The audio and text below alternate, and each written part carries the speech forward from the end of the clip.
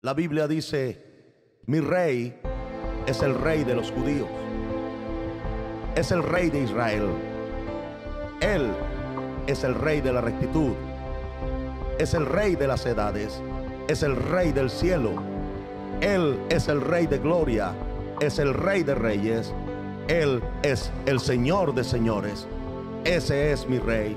Y me pregunto si tú lo conoces.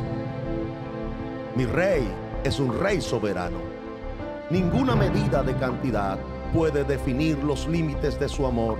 Él es perdurablemente fuerte, Él es completamente sincero, Él es eternamente firme, Él es inmortalmente bondadoso, Él es imperialmente poderoso, Él es imparcialmente misericordioso. ¿Tú lo conoces? Él es el más grande fenómeno que jamás ha cruzado el horizonte de este mundo.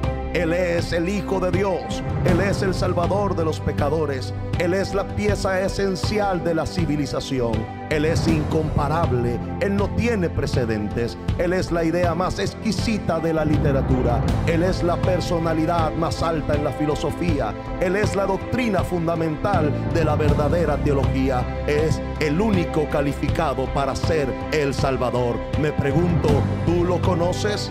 Él da fuerzas al débil, Él se solidariza y Él salva, Él fortalece y sostiene, Él guarda y Él guía, Él sana al enfermo, Él limpia a los leprosos, Él perdona a los pecadores, Él libera a los deudores, Él liberta al cautivo, Él defiende a los débiles, Él bendice al joven y Él sirve al infortunado, Él recompensa a los ancianos, Él recompensa al diligente, Él embellece a los mansos. Me pregunto, ¿tú lo conoces? Él es la llave del conocimiento, Él es la fuente de la sabiduría, Él es la puerta para la liberación, es el camino de la paz, es la vía a la rectitud, Él es la autopista a la santidad, Él es la entrada de la gloria.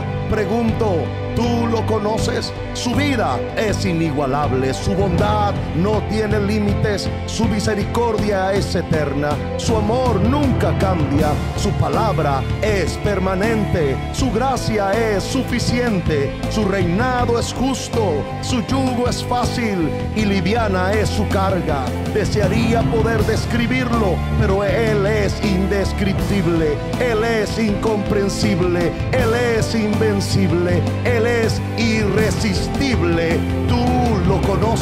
No lo puedes sacar de tu mente, no lo puedes soltar, no puedes sobrevivir sin Él, no puedes vivir sin Él. Los fariseos no pudieron detenerlo porque ellos entendieron que no podía ser detenido. Pilato no pudo encontrar ninguna falla en Él. Herodes no pudo matarlo. La muerte no pudo limitarlo y la tumba no pudo retenerlo.